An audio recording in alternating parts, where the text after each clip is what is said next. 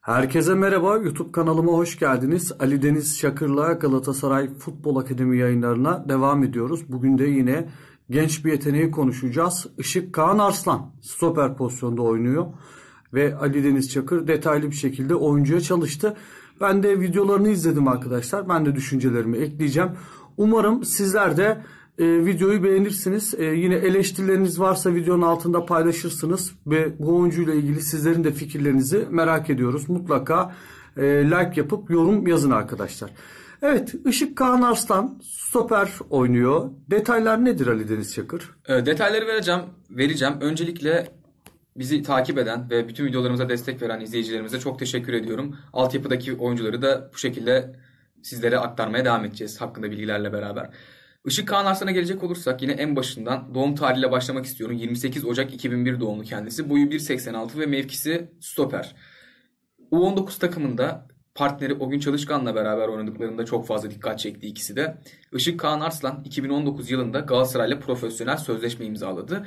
2019-2020 sezonunda da gözler Fatih Terim'deydi. Işık Kağan Arslan'a şans vermesi bakımından. Daha önce hatırlayacaksınız Gökay vardı Galatasaray'da yine stoper olarak. Ozan Kabak'tan sonra onun ona şans vermesi bekliyordu Fatih Terim'in. Bir iki maçta süre aldı ama beklenen performansı sergileyemedi kendisi. Bu sene de Işık Kaan Arslan'a çok fazla şans vermesi beklenirken Fatih Terim'in aslında Fatih Terim'in tercihi Işık'tan 2 yaş küçük olan Emin Bayram'dan yana oldu. Işık Kaan Arslan bu sezon 4 tane maçta kadroda yer aldı ama Galatasaray'la henüz profesyonel e, futbolcusu olarak bir maça çıkmadı. Peki altyapılarda ne yaptı? E, altyapı organizasyonlarındaki istatistikleri nasıl? Zaten U19 takımında bu sene çok fazla dikkat çekti. Hatırlayacaksın Eyüp Yıldız. Bu sene Gençlik, e, Gençler Ligi'nde Galatasaray Real Madrid'i mağlup etmişti. Bir tane gol zaten çok e, internette konuşulmuştu. Yunus Akgün'ün ortasına hı hı. Işık'ın golü, Işık Kaan Arslan'ın golü sosyal medyada yer almıştı. O gün de benim açıkçası çok dikkatimi çekti ve bu sene ben e, garipsedim biraz durumu. Çünkü Işık Kaan Arslan'ın ben en azından 2-3 maçta forma giymesini bekliyordum Emin Bayram'ın forma giydiği yerlerde. Çünkü Emin Bayram belki de gelecek olarak daha potansiyel vaat etse bile şu anda Emin Bayram 16 yaşında, Işık ise 19 yaşında. Ondan dolayıdır ki ben Fatih Terim'in Işık Kaan Arslan'a şans verme konusunda daha aceleci davranacağını bekler, davranmasını beklerdim. Ee, şimdi şöyle bir şey oldu. Emin Bayram'la ilgili olarak Fatih Terim'de bir e, kiralama fikri oluştuğunu ben biliyorum. Bunu videolarımda da paylaştım. E, tabii sezon başı kampına bütün bu futbolcular katılacaklar. Yani altyapıdaki şu an A takım seviyesinde test edilebilecek bütün futbolcular katılacaklar. Kısa bir süre içerisinde de rezerv lig kurulacak ve e, Galatasaray'ın da bir rezerv takımı olacak. Orada da bu oyuncular kendilerini göstermeye çalışacaklar. Ama ben yaz kampında Işık Kaan Arslan'ın öne çıkacağını, Fatih Terim'in onu biraz daha ciddi bir şekilde test edeceğini düşünüyorum Ali Deniz Çakır. Evet biraz fiziki yapısından bahsedelim. Fiziki tamam. yapısı da yine Ozan Kabak'ta olduğu gibi. En başından şunu söylemem lazım. Ozan Kabak belki de ilk U17-18 takımındayken o kadar iyi bir fiziğe sahip değildi ama ana takıma çıkınca inanılmaz genetik olarak e, yapısında konuşturdu gerçekten. Şu anda da zaten e, görüyoruz Schalke'de forma giyerkenki halini. Işık Kaan Arslan bence genetik olarak fizik olarak daha bile avantajlı Ozan Kabak'a göre. Bu sezon bence de kesin forma giyecek. Birkaç tane daha e, bilgi vermek istiyorum kendisiyle sağ içindeki şeyle alakalı. Poz, pozisyon alması gerçekten çok iyi ve ayakları da şu anki yeni dönemde biliyorsunuz stoperlerin de artık oyun kurması, topla beraber çıkması çok önemli. O günle beraber ikisi de ayaklarına Artık stoperden oyun kuruluyor. Yani topu oyuna sokması, oyunu oradan kurma e, yeteneği çok önemli. Biliyorsun Luyendama mesela bu özelliğiyle fark yaratıyor ama Marka bu konuda çok iyi değil. E, Işık Kaan Arslan nasıl peki? Işık Kaan Arslan dediğim gibi yani yanında o gün olunca o gün daha çok oyun kurmaya yönelik olduğu Hı. için o oyun kurma özelliğini çok fazla e, göremedim ben açıkçası videolarında. Ama tabii ki de ayaklarının düzgün olduğu aşikar Eyüp Yıldız. Bunu bir eksi olarak yazalım o zaman. Yani oyun kurma yeteneğini geliştirmesi lazım değil. Geliştirmesi lazım ama dediğim gibi yani ben iki stoper oynanacaksa bu iki stoperden bir tanesi oyun kurmaya yönelikse mesela Markao ile beraber oynarsa Işık Kaan Arslan ben böyle bir sıkıntı çıkaracağını düşünmüyorum. Çünkü Markao hani ayaklarına sen az önce söyledin yani çok hakim olmadığını ama fark edersen oyun kurma bakımından hep topu ileri sürme bakımından Markao çok etkili oluyor. Hatta Markao ben o noktada Luyendama'yı beğeniyorum ama sen biraz daha Markao'cusun. Ya Luyendama'yı beğeniyorsun çünkü Luyendama da aslında fena değil. Şimdi Hı. olay ondan ibaret. Bu sene hatırlayacak olursan Luyendama'nın sakatlığında Donk ve Markao'nun sırtmamasının en büyük nedeni oydu. Markao'nun sol ayakla Bir de sol ayaklı bir stoper olması da tabii ki çok avantajlı. Markao'nun yanında Işık Kaan Arslan'ı bir yerden sonra kullanabiliriz belki de. Galatasaray kullanabilir yani. Luyendama satışı gerçekleşirse Işık Kaan'la beraber uyumlu bir ikili olabilirler mi diyorsun? Evet Eyüp Yıldız ama bir tane konu var benim kafamı kurcalayan. 3 yıllık sözleşme imzalanmıştı kendisiyle ve şu anda 2 yılı kaldı bu sözleşme geçen sene imzalandığı için. Bu 2 yılda bu futbolcunun Galatasaray'da tutulması için bence yavaş yavaş artık süre alması gerekiyor Eyüp Yıldız. Bilmiyorum katılır mısın?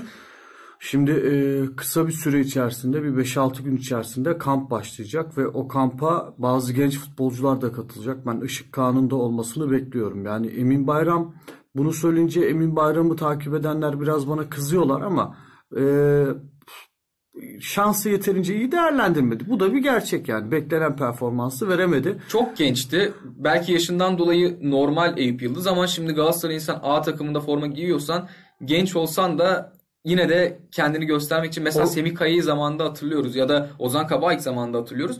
Öyle bir performans yani Ozan Kabak kadar güven vermedi sonuç itibariyle. Fatih Terim de onu mecbur kalmadıkça oynatmadı. Bu da Işık Kaan Arslan'a bir şans tanıyacak diye düşünüyorum. Ee, Fatih Terim mutlaka e, idmanlarda yakından takip edecektir. Ki sadece Işık Kaan değil e, az önce yayının başında belirttiğimiz gibi e, A takım seviyesinde katkı verebileceğini veya fiziksel olarak o gelişimi göstermiş altyapı futbolcularını mutlaka Fatih Hoca sezon başı kampında deneyecek ve bazılarını da kadroya alacak. Sanırım altyapıdan 4 oyuncu zorunluluğu gelmiş. Kadroda evet. bulundurma zorunluluğu. Ya şunu da eklemek istiyorum Eyüp Yıldız. Şimdi bu sene yabancı kuralı e, uygulanmayacak ama gelecek sezonlar için bu yürürlükte olacak yabancı kuralı ve belki de daha da düşürülecek e, kullanılabilecek yabancı sayısı TFF tarafından.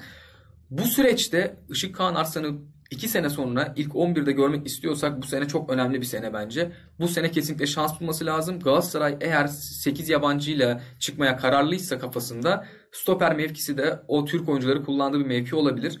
Ama tekrardan dediğim gibi Türk bir oyuncuyu transfer edip bonservis ödemek yerine kendi altyapından çıkarttığın Işık Kaan Arslan, Emin Bayram, Gökay gibi isimleri olabildiğince şans, şans verip en yüksek e, verimi sağlamak bence çok önemli.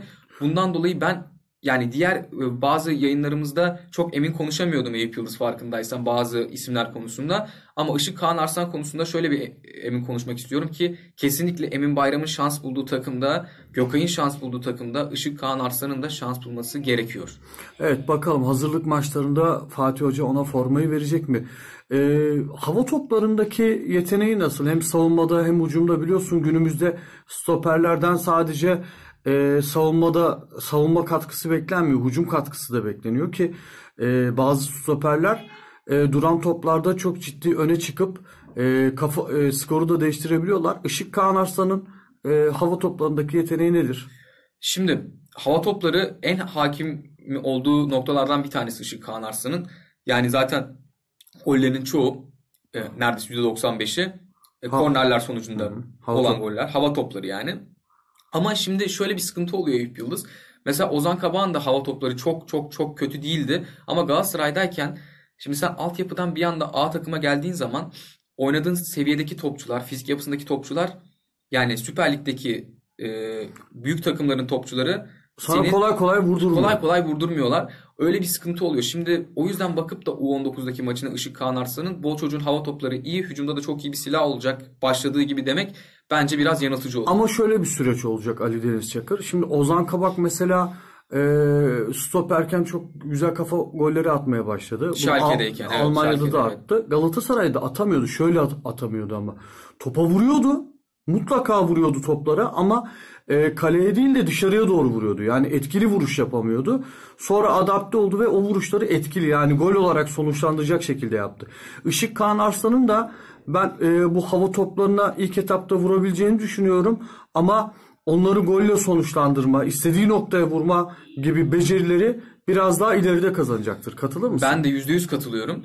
Ama ileride kazanacak olması, o potansiyelin olması bile bence şu anda yeterli Eyüp Yıldız. Yani ben şu ana kadar yaptığımız isimlerde açıkçası yani en pozitif olarak baktığım isim Işık Kaan Arslan. Bunu da çok gönülden söyleyebilirim. Evet ben de Işık Kaan Arslan'la ilgili pozitif düşünüyorum. Kendisine bir şans gelecek mutlaka. Umarım o şansı iyi değerlendirir sevgili Işık Kaan Arslan, Aslan ve e, Galatasaray'da e, üstün başarılar elde eder. Evet değerli izleyenler bu videomuzda Işık Kaan Aslan'ı konuştuk. Sizler de görüşlerinizi videonun altında yazabilirsiniz. Ayrıca bundan sonraki videoda kimi konuşmamızı istiyorsanız altyapı futbolcularından e, alta yazarsanız Ali ile değerlendirip onun da videosunu çekeriz. Ali ağzına sağlık teşekkür Çok teşekkürler Eyüp Yıldız.